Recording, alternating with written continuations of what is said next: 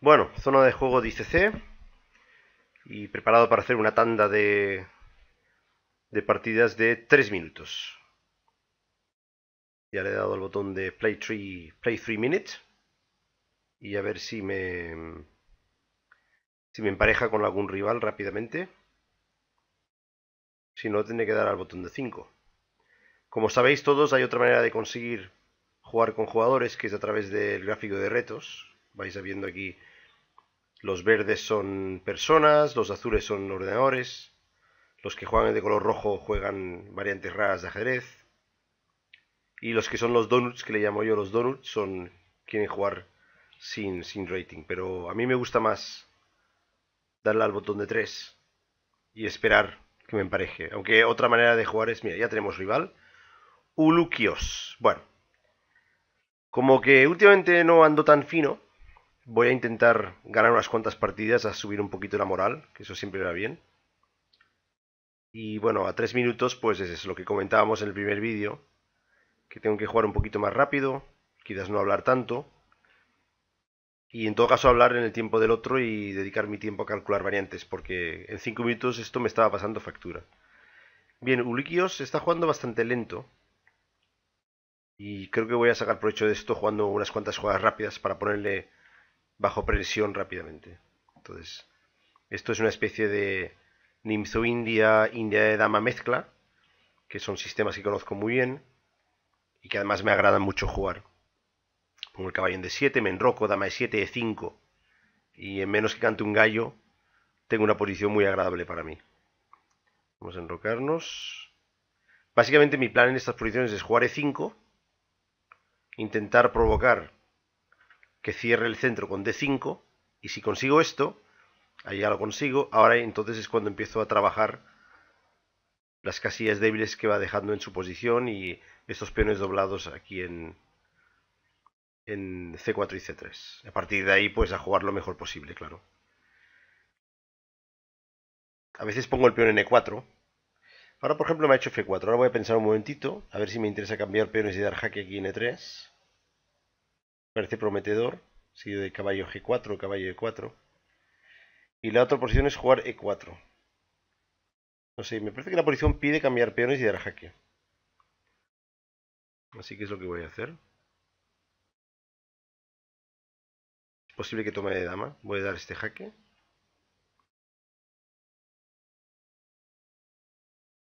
Y ahora creo que la posición, la posición pide caballo E4.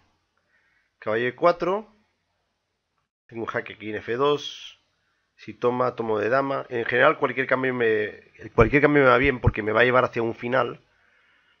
Un final superior. Por, eh, por tener sus peones doblados en, C. Tengo que vigilar de todos modos que no me haga un alfil de 3 en un momento que no me convenga. Por ejemplo, ahora si tomo de caballo y me hace alfil de 3, puedo tener problemas. De hecho, Igual me he equivocado porque tengo que tomar de dama y me va a hacer a fil de 3. No, tomo de dama. Vamos a buscar el final. No vamos a hacer ninguna tontería.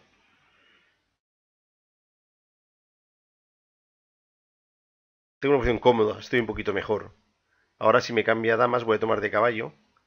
Estoy bastante bien de tiempo. Y sobre todo fijaros estas debilidades en el flanco y el alfil malo en G3. Esto me da muy buenas perspectivas de cara al final. Bien, lo primero que voy a hacer es quitar la dama de aquí. Antes de que sea tarde y voy a colocarla en la casilla F6, apuntando el peón de C3. Creo que es una buena casilla. Él jugará a G4 ahora seguramente. Pero si juega a G4 puedo cambiar torres y zamparme el peón de F4. Así que a G4 es un error táctico. Esta es mejor y yo sencillamente lo que voy a hacer es retirar la dama para apuntar sobre este peón.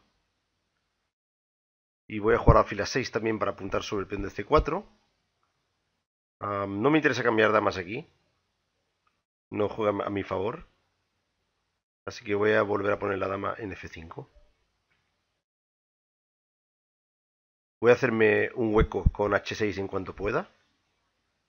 O con F6. Pero primero voy a poner el alfil aquí, atacando este peón.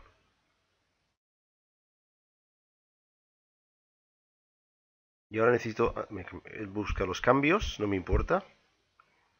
Cambios no hay problema.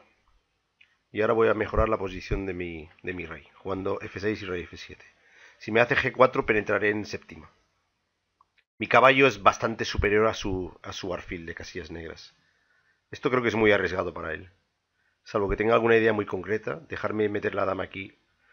Pero no puede meterse, ¿no? Por aquí, lo tengo todo defendido. Si la cosa se pone fea, voy a hacer dama de 4 jaque. Y voy a cambiar las damas y, ya está. Pero me gustaría zamparme este peón de A2, la verdad. Él me está abriendo, pero aquí realmente no hay nada que hacer. Por tanto, me voy a zampar el peón. Me voy a arrepentir de comerme este peón, porque va a entrar por, por H5 con jaque. Voy a jugar prudente y cambiar las damas. Porque tengo un final bastante prometedor. Ahora, por ejemplo, podría tomar de rey o de caballo. Si tomo de rey, jaque, rey F5 o alfil de 8 y me come este, este y este. No me interesa. Aunque le caerá este y este. Voy a tomar de rey, por ponerle presión. Tiene muy poco tiempo. Y ahora voy a jugar H6 y G5. Ups, algo he hecho mal aquí. Vuelvo aquí. Y voy a jugar G5. Voy a tomar aquí. Vamos a poner el rey aquí. Este final no lo estoy jugando muy bien, pero ahora básicamente estoy intentando que, le caiga la bandera. No hay, no hay otra, no hay otro objetivo aquí que intentar que le caiga la bandera. Que es básicamente lo que voy a intentar conseguir en cuanto penetre con mi rey. Las cosas están poniendo muy bien para mí. Estoy comiendo todos sus peones. Él también se come alguno de los míos. Pero eso no es demasiado importante porque le va a caer la bandera. Bueno, una buena partida, por fin. Una partida más o menos decente.